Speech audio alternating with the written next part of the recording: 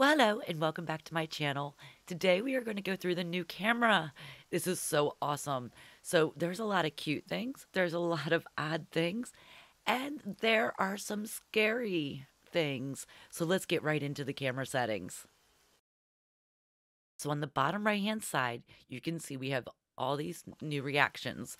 Like they're the first two I think are the normal ones that we've always had, you know, where you can point the finger and put your hand out but this last one, the claw thing, like, roar! I love it. I love it. And especially with this face, this is the face you need. So if you go under your smiley face, you can get all these new facial reactions. And some of them are cute, some of them are a little odd. This one's all right. This one's fine too. This one here I laugh at every time I see it. Look at this huge smile. There's so much gum. but I love it cuz and, and the winky eye. I mean, I like the winky eye. It's a little it's a little awkward. but if you look over to your next thing, you're going to see that we can change filters. This is fun as well. I don't necessarily need it, but I do like that third one over. I think it gets it makes it a little brighter. But you can just cycle through these and play with them. They're a lot of fun just to see what they do.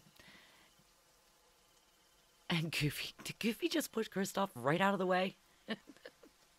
These characters love to be in the camera. It's so much fun. So if I turn it off, it gets too dark. So I like, is that the fourth one over? Yeah, I like that one the best. And then we have frames. This one, I think they needed to add a little more transparency to it. I think it's really cute, but it's not transparent enough for me, so I'll never use that one. And then we've got all of these other ones, just white border, black border, white thick border. And then we have this one. I love this border. And then you can also put Disney Dreamlight Valley, the logo, in any of your corners. So I think that's very convenient, and I love that idea. It'll help if you're doing a thumbnail and you just want to use this. The R on the PC will totally show the user interface or it will hide it. I also love that when you go to save the picture, you can save and share by using a QR code. So that's extremely convenient. You can just take your phone, take a picture of the QR code, and it'll save it to your phone. So you'll always have that picture. You can then email it to yourself or whatever you want to do with it. But I think that's awesome. The bottom left hand corner on the Switch, on the PC, it'll give you your whatever you're supposed to press to make those things happen. Keep note that the T on the PC or the Y on the Switch will change the picture dimensions. So I'm calling it portrait, square, and widescreen. Right now we're in widescreen. The V on the PC or the X on the Switch changes the camera mode. So that is your normal selfies mode or your portrait mode or just the scenery mode, which we're still in that picture, which is a real bum that we can't remove ourselves.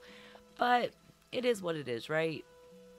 So, anyway, those were the main things. That top right hand corner, that coincides with V or X. That's your camera mode. So you can actually change those just by clicking on them on the PC. On the Switch, you'll have to actually press hey, X. Um, but on the PC, you, you, can just click on them or press Well, I hope you enjoyed this video.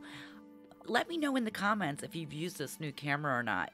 And I would love to know what you think about it and what you would score it. I think I would score it an 8 out of 10. The only thing I don't, the only thing that bugs me about it is that when we go into our scenery mode under camera mode and the camera turns around, you can see your village. That's a great picture. But there's two things that I wish they would add to this camera. That we could either turn ourselves around or remove ourselves. I would like both of those features to be honest.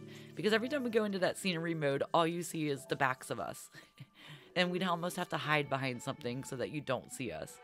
But that's the only reason I wouldn't give it a 10 out of 10 because I do love this camera and I love how they all fit. I mean, look at it. Look at these guys behind me. They're so adorable, posing for the picture. And Mickey, Mickey. Oh my goodness, I love them all. Anyway, guys, I hope you enjoyed this. I will see you next time. Don't forget to like, subscribe, and hit that notification bell for more Dreamlight Valley videos. I'll see you later. Bye.